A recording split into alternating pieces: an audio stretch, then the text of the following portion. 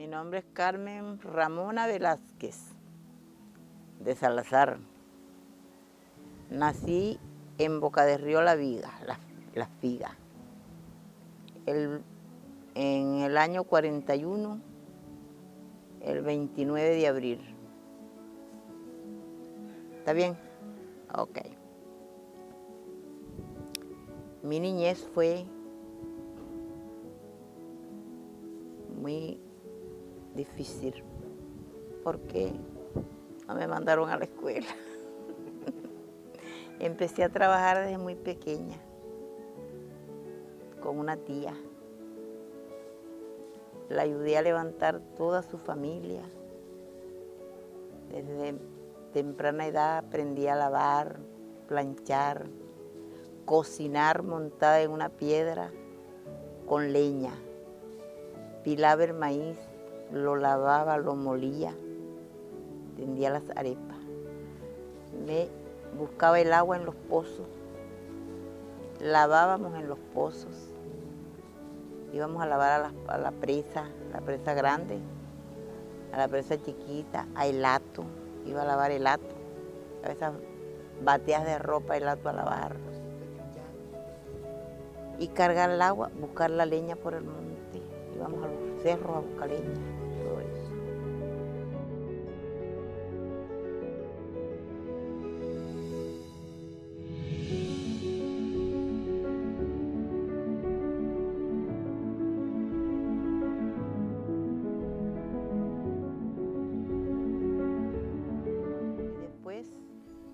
Venía, me vine para acá.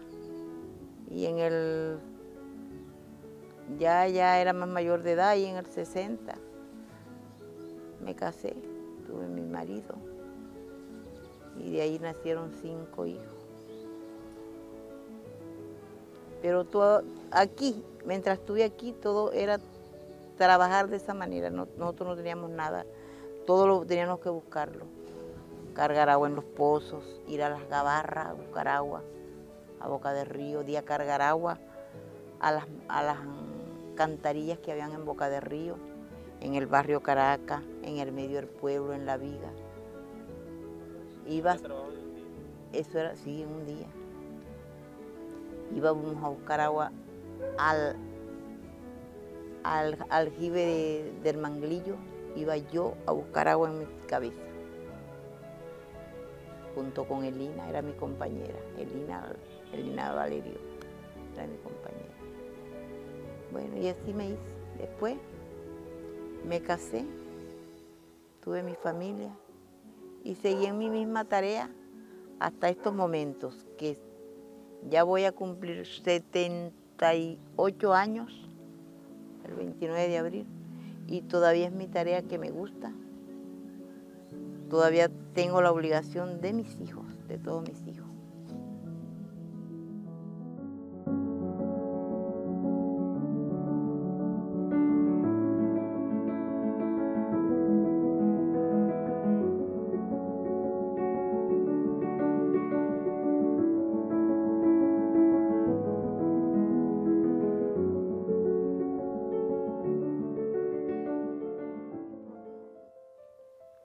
De nosotros, yo por ejemplo era que si íbamos para los, para los, para los conucos, para los montes, llegábamos a esos ríos, agarrábamos esos bejucos y comenzábamos, esa era la profesión que teníamos, tirarnos como unos chinchorros en los bejucos y caíamos en los tierreros, esos eran los, los, bejucos a saltar.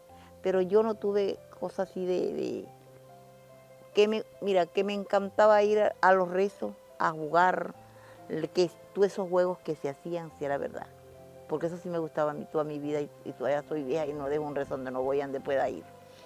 Bueno, pero de eso de, Y los muchachos, una vez que se entusiasmaron, por ejemplo, ahí va Efiber, mi hijo. Se entusiasmaron, agarraron el, el parque, lo quitaron, los, cuando pusieron este parque, el primer parquecito ahí, los quitaron los corotos de ahí y lo fueron a poner frente a la blanca.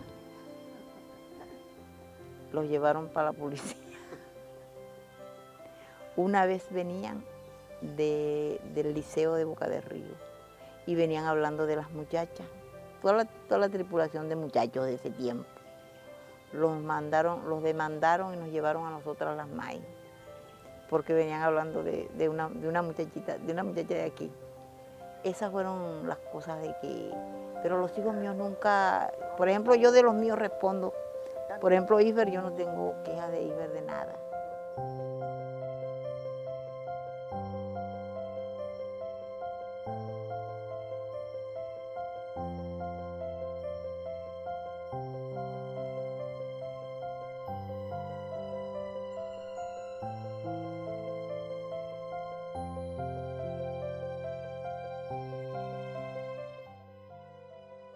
Y entonces una vez salí y encontré a Iber con la cabeza para abajo. En la foto donde estaba así. Cuando yo llegué me gorobí loca peleando. Pero mira, mujer, quédate tranquila, que nosotros lo pusimos así para que él descansara la mano. Desgracia como la iba a descansar si ustedes lo que hicieron, que pusieron el cuadro de cabeza. y esa fue la foto sin ver. y no dejaban mardas que no me hacían, cosas que no me hacían aquí en la casa esos muchachos me volteaban los muebles. Un día salí y encontré la mesa del comedor puesta así y nos dejaron fotos de mis hijitos que no me buscaron, me las pusieron y unos candeleros con unas velas prendidas. Tú puedes creerte con los santos puestos ahí, todos santos que tuviera, levantaba yo. La torta, ¿qué torta? ¿Cómo fue la Ay, eso fue otra.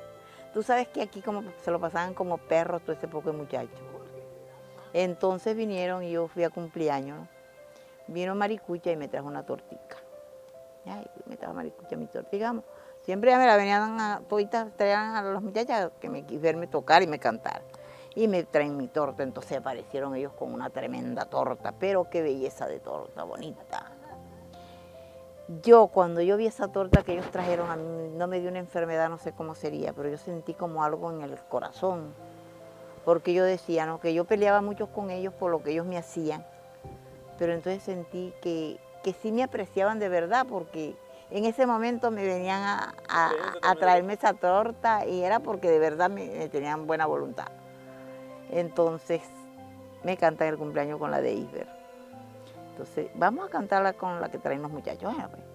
Ay, me cantaron. Ellos se quedaron toditos, varito, mm, chorro, mandito, Jorgito, toditos esos se quedaron como así cuando las perras están alborotadas que tú ves los perros echados así toditos allá, pero echados en el piso hacia allá. Ellos están esperando el momento cuando me cantan mi cumpleaños y ver con su cuatro y todo, yo emocionada, con ganas de llorar cuando yo vi eso. Y viene Maricuya y yo voy a picar la torta y le mete el cuchillo a la torta.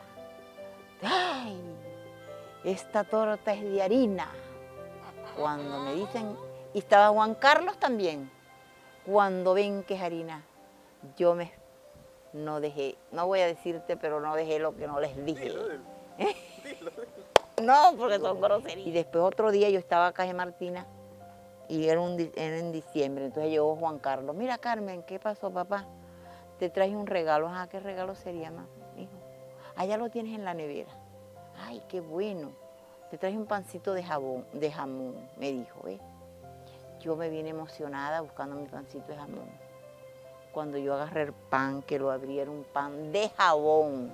Era jabón lo que estaba relleno. Viste que me hacían unas cosas que era para yo matarlos, pero yo siempre los, los dejaba tranquilos.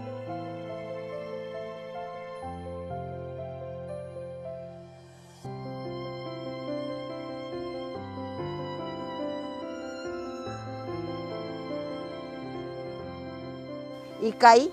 Ahí yo era, bueno, caía con ellos porque todo el tiempo ellos vivían medio como perros aquí. Ellos cambiaron conmigo después de la, a raíz de la muerte de Fidel. De ahí porque ya yo no fui la misma, pues. Ya yo no fui la misma y ellos cambiaron ahí. Cuando ya se murió mi hijo, todo cambió.